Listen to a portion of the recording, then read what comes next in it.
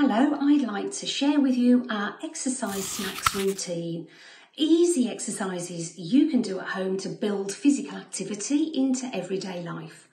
All you need is a chair and a tea towel. They take very little time, so no excuses. I'll show you how to make each one a little easier and a little harder. You can do them whenever you choose. So let's go.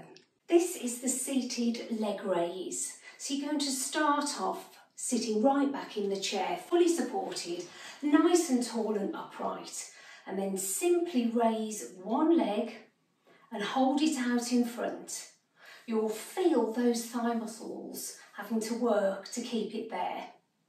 Now, hold for up to 10 seconds and then lower that leg down and repeat on the other side. Don't try and lift the leg too high.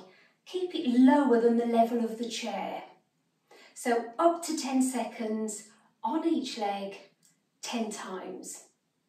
Now what's really great about this one is it's something you can do while you're watching the television, the adverts come on, just to be able to activate the muscles in the thighs. Really helps as well if you've got a bit of achy knees. Now when you're starting to get stronger and you want to progress, you can come forward on the chair at first, you might need a cushion behind you, and that will give you a little bit of support, and then ultimately be able to sit really tall. Good for your core muscles here as well.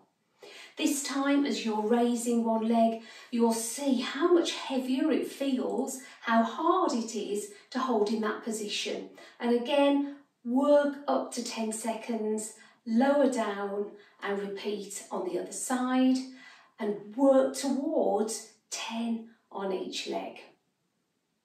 So if you're struggling a little bit, stay fully supported, do fewer repetitions and hold for less time.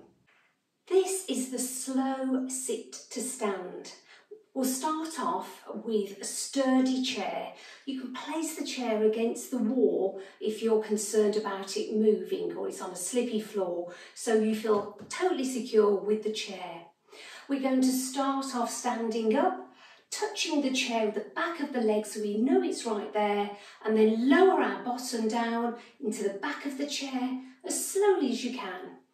Now you can either reach back with the hands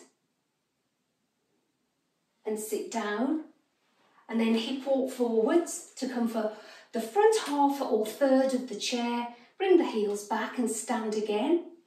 As soon as you're up, pump those heels and touch the chair. Or you might want to keep your arms out to counterbalance, whatever feels most comfortable for you. Sit down slowly as you can. Real control there, working those thigh muscles, bottom muscles and hips.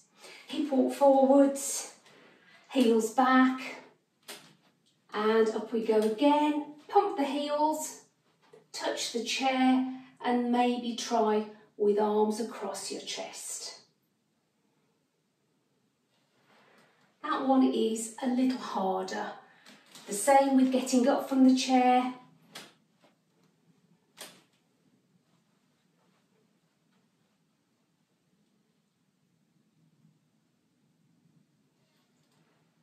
And we're working towards doing five of these to really try and work on building up strength through the legs with a very easy exercise that you can do very regularly.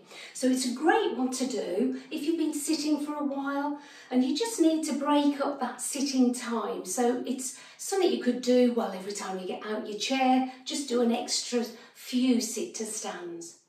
Now, if you're struggling with this one, especially if you're finding it a bit hard on the knees, then start off with an easier version where you simply sit tall in the chair and push your heels right down into the floor.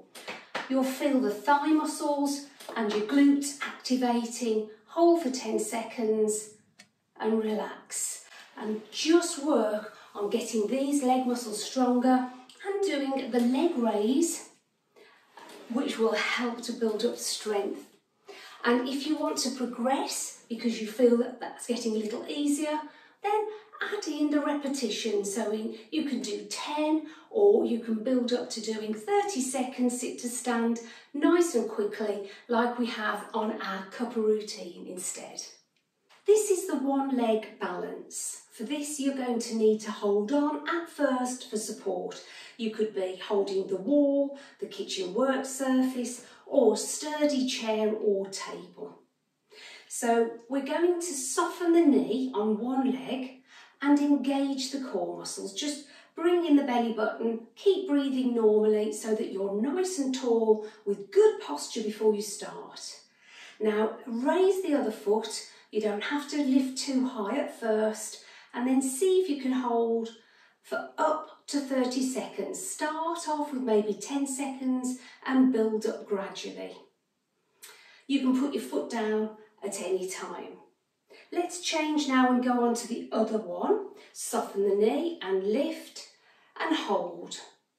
Now gradually as you get stronger and your balance improves, you start to reduce contact with the support. You may be just a fingertip touch. And ultimately, we want to work towards being able to hold for 30 seconds without having to hold on to anything at all. Build up gradually and remember, always have a safe space and you can put your foot down anytime you need to. Now, if you're finding that a little bit of a challenge, then have support and do a heel raise instead. So both feet are on the ground as you lift the heels and hold. From the side you can see lifting and holding, keep holding for support and then gradually take away some of that support until you feel stronger and you can work towards then a one leg balance instead.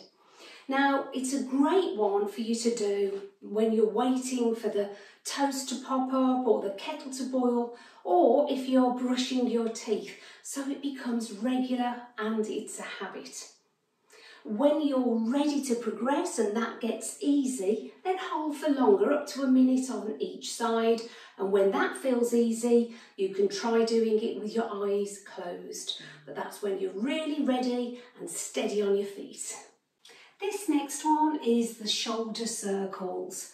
And all you need is your tea towel. So leaving it out is going to remind you to pick it up and use it as a little bit of a prompt for this easy exercise. So standing nice and tall, feet hip width apart, hold that tea towel around shoulder width apart and keep it taut so it's nice and firm and hands stay the same distance apart and we're simply going to start circling. Circling it around just in a big circle that feels comfortable to you. So if this is feeling uncomfortable, I'll show you an alternative exercise in a moment. We're aiming for around five circles in each direction. Now if you want to progress this, you can make the circle bigger, so trying to go down with a knee dip, reaching further, higher and out to the side, so it's a bigger circle. And it really feels nice, you're activating all the muscles around the arm, shoulder, into the spine and hips as well. And just five nice big circles each way. So this is a great one to do when you're in the kitchen and you see the tea towel, it's the prompt to remember to do it. If you're struggling with this and you find it's a little bit uncomfortable for your shoulders, then you can do much smaller circles and a lower number of repetitions, or you can simply do shoulder circles instead. Up, round, and back and down. So imagine you're squeezing the shoulder blades in towards each other as you roll the shoulders and work up to doing 10 of those instead.